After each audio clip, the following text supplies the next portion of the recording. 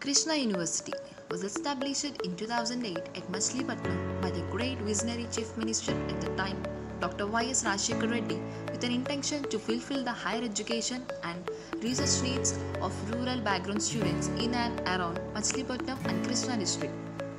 Professor K.B. Chandrasekhar appointed as Vice Chancellor of Krishna University in January 2020 by the government of Andhra Pradesh. Basically, he belongs to chemistry family and his brother Ren's commitment and dedication to work are exemplary. Our registrar, Professor K. Krishna Reddy, had exposure across the globe and vast experience in administration and physicist.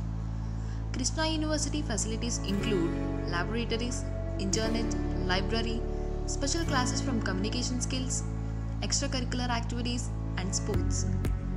College infrastructure is good with labs, neat and digital classrooms, and all essential amenities for the college. There are separate libraries for every department and one central library. Krishna University provides post graduation courses in chemical sciences like Masters of Science in Organic Chemistry, Analytical Chemistry, and Pharmaceutical Chemistry. The duration of this course is 2 years, consists of 4 semesters, out of which the fourth sem includes project work, where the students can get a chance to do their project work in pharma industries. The students will be paid a stipend at pharma industries during the project period and are getting the placements in same pharma companies soon after completion of their master's degree. There are many pharma industries like Reddy's Laboratories, Laurus Labs, Hetero Labs,